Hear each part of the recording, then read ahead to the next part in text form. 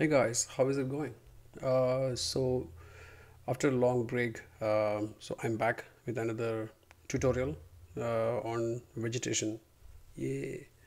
Okay. So um, so what we are going to do here is basically uh, creating a, an HDA. Uh, so HDA is uh, Houdini digital asset. Uh, so this is the pipeline that is used to create the whole process and I'll be using only uh, free softwares for the entire pipeline. Except exception is uh, this one uh, that is used for texturing. So only thing that is mm, that is commercial or you can say uh, which is paid is the Substance Designer. Uh, so because because I'm very comfortable using it, uh, you can you can use any any tool tools you want to to create this uh, grass. So we are actually going for a grass. So you might ask where i got the inspiration from. Uh, it's all from this game over here. Uh, this is the ghost of tsushima. Uh, they have uh, they have a beautiful dynamic grass system. Uh, so i'm not going into details uh, right now because i'll be explaining about this in in in part one. They, they they had a technical talk in in the in in GDC about how they made the grass uh, on on this beautiful game. Uh, this is really amazing stuff we got here. If you get a chance to play the game, please play the game. Uh, so this is beautiful. This is amazing. The way the grass moves and you know all the all the flowers are like moving in the wind and all the dynamic uh, stuff that is happening. Uh, it is so good. So I'm not trying to uh, get this exactly the same because it is it it it needs a lot of research and a lot of technical um, uh, know how to, to do it. So I'm an artist, so I also do technical stuff, but not uh, s- uh, not so uh, something that is so so deep. But we will try to achieve uh, something similar to this. Um, excuse me also for the uh, like for for Ghost of Tsushima game, they use a specific technique to uh, to create their uh, create their grass. Uh, the the textures are really simple. Uh, it is not complicated at all. Um, but in our case, we'll be following this pipeline. So what I'm planning to do is to use Houdini Apprentice that anyone can can download and use, and, and it is free. You don't have to pay anything to use it. Um, it is completely free. Um, I will I will share uh, share the link uh, to their website uh, in the details of this video. Uh, then I'll be using Blender uh, for for modeling out uh, the the custom part of this this grass, and finally we'll be rendering it in Unreal Engine. Uh, so the engine version I'm using is uh, 5.3. Uh, just now they released an update for the PCG tools, so I'll be using PCG tools to to to spawn the grass in the world. So I won't be focusing uh, on uh, PCG, even though I'm using PCG to to spawn the grass. It is just for spawning purpose, nothing much. Even even uh, I might not have any uh, any terrain materials uh, on on the landscape and um and this is how the pipeline goes. Uh, first, we'll uh, uh, we'll be making a texture. Uh, but I won't be showing you the the uh, the the whole process, but I will open up this substance graph and show you the process how it is done. Then once the texture is uh, uh, done, then we will make. Uh, I'll show you how I made a custom flower inside Blender. Then take these two into Houdini Apprentice. Uh, inside Houdini, uh, we will learn how to how to make the Houdini graph uh, to get all the random um, grass grass blades uh, because everything is done from scratch inside Houdini. Uh, then we will take uh, take that, uh, apply some uh, vertex colors, and then export that to Blender. So the problem with Houdini Apprentice is that it does not support FBX export. So without XP, FBX export, it is impossible to bring uh, vertex colors into Unreal. So I cannot do uh, like I cannot directly jump from Houdini to Unreal because of this this reason. There should be something in between. Uh, so that's why I'm using Blender.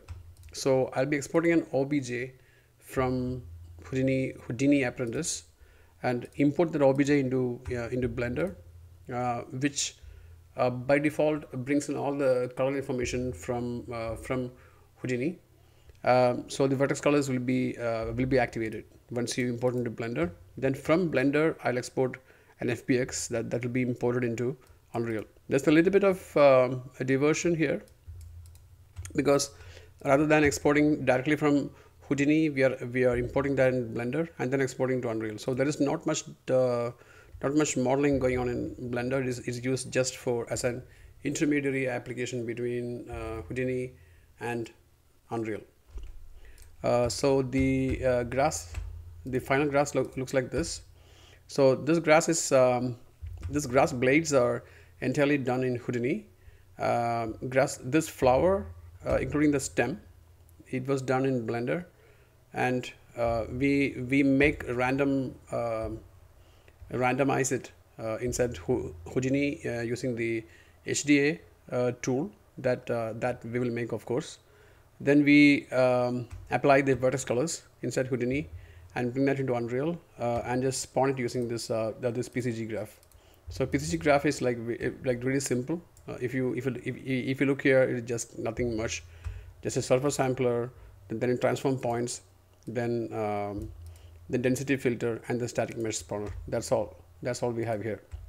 Then the movement is um, the the wind animation of the grass is is uh, is done through a shader. So it just um, plugs into the world position offset. uh, I'll also uh, explain uh, how that is done. So it is just a um, shader that uses the vertex colors to uh, to run. Uh, so I'll be showing you how to create this shader.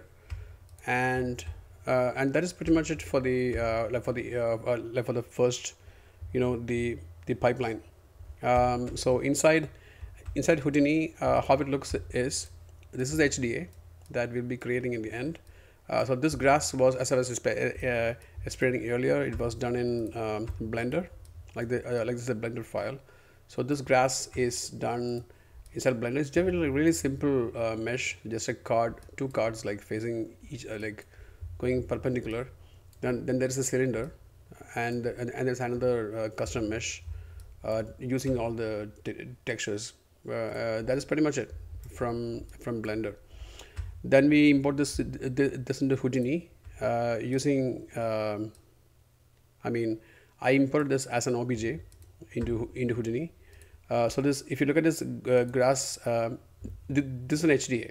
So how this works is like you can just just right right click and just type um, grass HDA. So when you drag this in, it'll like it'll create a new uh, new uh, Houdini digital asset, which you can just customize whichever way you want.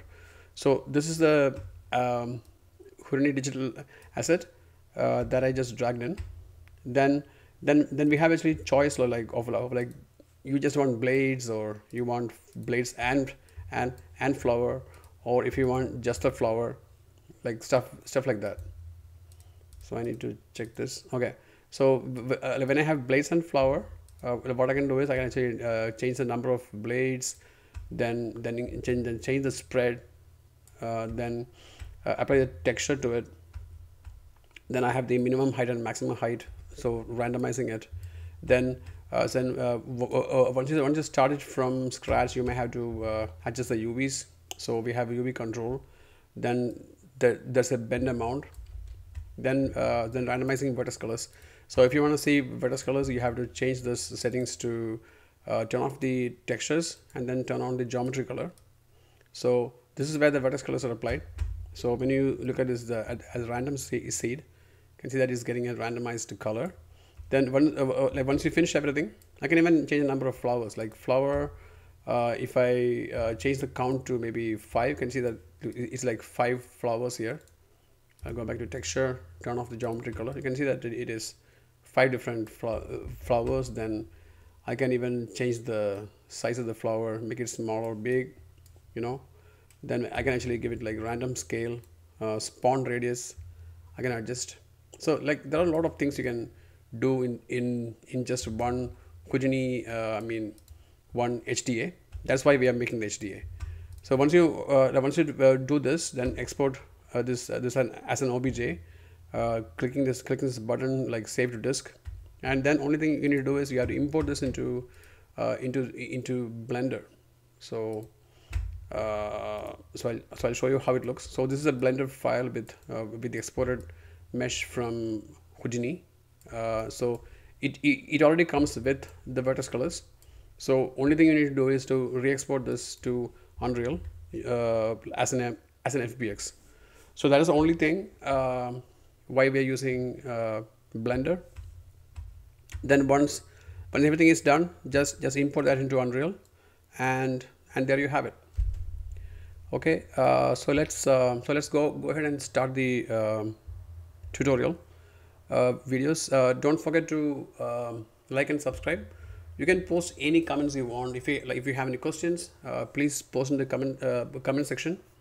And let, let's get started. Keep watching